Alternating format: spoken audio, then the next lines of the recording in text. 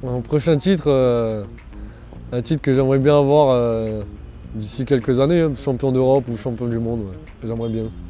Bon, même si c'est peu probable, mais bon, on sait jamais.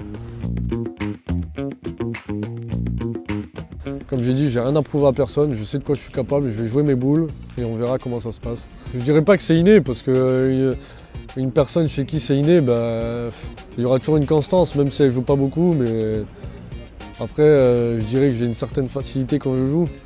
Je sais que si je joue pas pendant des mois, c'est pas ça qui va m'empêcher de bien jouer euh, tout de suite après. Franchement, la régularité de l'entraînement, j'en ai pas et c'est pas ça qui m'empêche de bien jouer en fait. C'est, je sais pas, c'est comme ça. hein. C'est une envie en fait. C'est ma passion. Du coup, quand je joue, mon objectif c'est de bien jouer.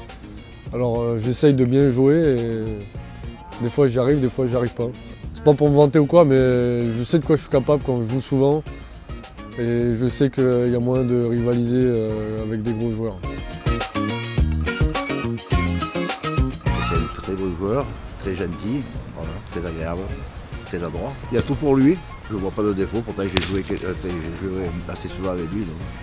Un peu râleur des fois, mais ça c'est tout le monde. Ça a été un, un des joueurs que j'appréciais le plus parce qu'il avait d'énormes qualités. Le petit défaut, c'était sa jeunesse. Il n'a pas tout à fait compris au début que pour, être- un champion, il, fallait travailler sur le caractère. Je pense qu'il a commencé un peu à travailler là-dessus. Il a l'adresse, il a la sagesse. Et puis, voilà, puis après il a tout le temps devant lui après. Je pense qu'il ira très loin.